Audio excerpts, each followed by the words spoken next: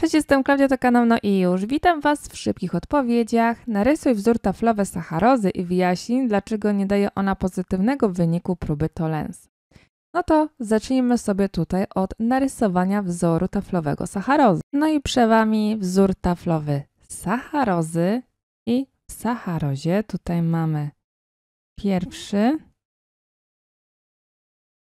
potem 2, 3, 4, 5, 6 atom węgla, natomiast ten jest odwrócony w przestrzeni i to jest drugi atom węgla.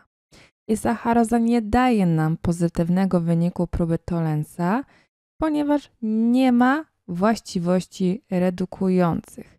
Dzieje się tak, ponieważ mamy tutaj oba anomeryczne atomy węgla zaangażowane do tworzenia wiązania glikozydowego. Zaznaczymy sobie je